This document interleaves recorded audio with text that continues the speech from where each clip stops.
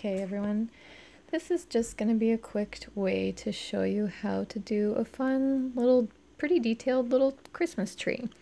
And afterwards you can add presents or baubles or whatever you want for designs for lights or ornaments, depending on what you want to do with yours. But this is just a quick way to see how you could just make a quick, easy tree using your dot drag technique, swoosh, swipe, and using dotting tools. So I'm just taking different colors of green. And personally, I have an obsession with ombre from light to dark or dark to light. So you could even do it all in the same color if you wanted. I'm just going from the lightest that I had here and working my way down into the darker colors. So you just get a good amount on and I'm starting with a smaller dotting tool for the top part. And you just dip it and dot like you're gonna dot and then drag it out like you would a swipe.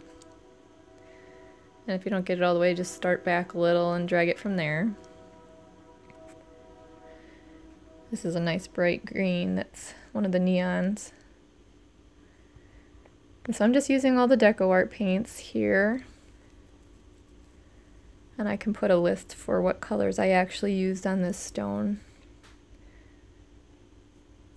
You know, there's some space in between if you want to do ornaments or you could do it on a larger stone and leave larger space between or at the top if you want to put a star or an angel or something at the top. But it's a good base for a design for Christmas, which I can't believe is coming up already so soon. It's amazing how fast it's going to be here.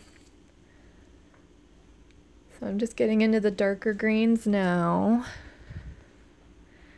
And I just got a bigger size dotting tool to get the fatter swipes here.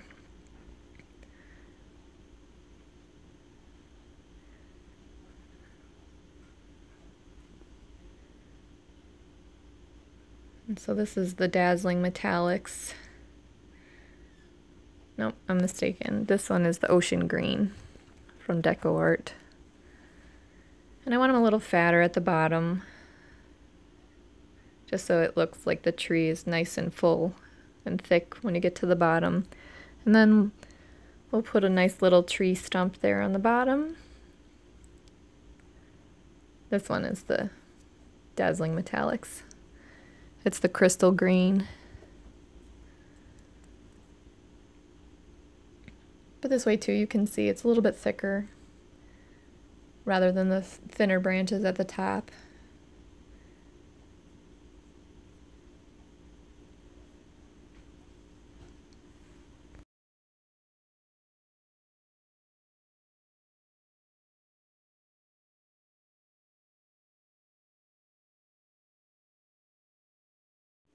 Okay, so now I'm just going to use a little bit of the rich espresso to make a little tree stump here.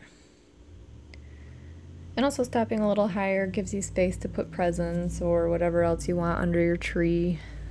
Snow, different decorations. But it's just a fun, quick design to kind of start off with a holiday stone. I hope you found this helpful.